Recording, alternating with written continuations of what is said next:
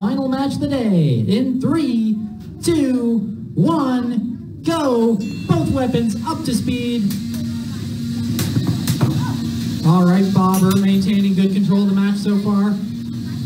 No massive hits yet. Disappointment chipping away at the sides when they can. That wedge on Bobber proving to be very effective. They can just get under the weapon of disappointment, pop them up into the air. Although there's a good connection from disappointment. They get to that back wheel of Bobber. Good technical driving match. That was a big hit. To disappointment, starting to rip away at the wedge on the front of Bobber. Oh, looks like they took out the weapon in that hit. 40 seconds into this match. Disappointment has all the time left in the match to chip away if they don't get stuck on their back like that.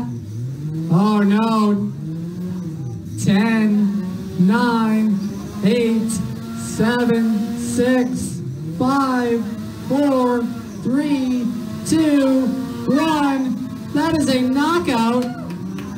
Oh no, disappointment finds the one area I can get stuck in. Bobber is gonna win by knockout. We're gonna see what that does to the points. Oh man, great final match. All right. Let's see what it does to the points. So we got winning by KO. 100, 100 points for Bobber, zero points for disappointment. We're going to see where that leaves the rankings. Your winner of the tournament with 570 points, Bobber.